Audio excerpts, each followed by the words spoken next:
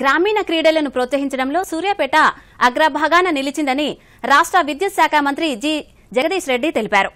క్రీడలతో మానసిక రుగ్మతలను తొలగించుకోవడంతో శారీరకంగా ఉల్లాసంగా గడపొచ్చని చెప్పారు.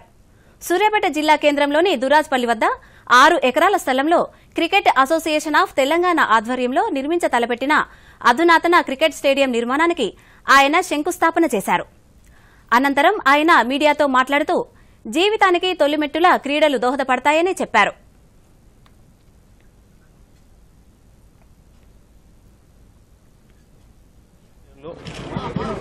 ఒక గ్రౌండ్ నిర్మాణం స్టేడియం నిర్మాణం చేసుకోవడం జరుగుతుంది. గ్రామీణ ప్రాంతాల్లో కూడా యువతలో ఏదైతే ఉత్సాహం ఉందో క్రికెట్ ఆటలో పాల్గొనాలని చెప్పి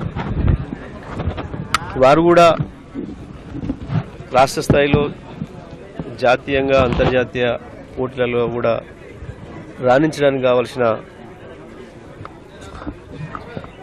శక్తి మా దగ్గర ఉంది.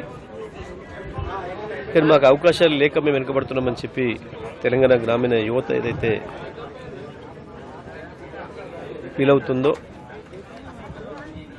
మరి దాన్ని రిప్రజెంట్ చేసే పద్ధతుల్లో క్రికెట్ అసోసియేషన్ ఆఫ్ తెలంగాణ అన్ని నూతన జిల్లాలలో గ్రామీణ ప్రాంతాల్లో కూడా ఈ అకాడమీ ఏర్పాటు చేసి వాళ్ళకు సరైన ప్రోత్సాహం ఇచ్చి వాళ్ళకు ట్రైనింగ్స్ కూడా ఇచ్చి ఇక్కడికి జాతీయ అంతర్జాతీయ క్రీడాకారులను కూడా ఈ గ్రామీణ ప్రాంతాలకు తీసుకొచ్చి ఈ అకాడమీ ఆధ్వర్యంలో వారికి మెలకువలు కూడా నేర్పాలి.